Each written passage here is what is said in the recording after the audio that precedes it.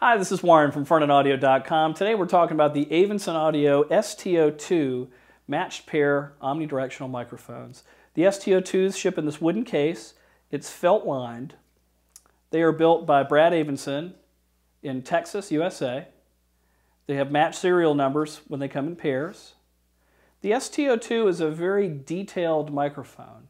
It's omnidirectional, so it doesn't care much about proximity effect. You can really stick it right let's say on an acoustic guitar and really reject the room noise but not pick up on the bass buildup that most cardioid mics would have. So that's one thing about omnidirectionals that not a lot of people think about is that you can actually place it very, very close to the source without it affecting that proximity effect. So you can reject more of the uh, room noise and you can turn your preamp down more as well.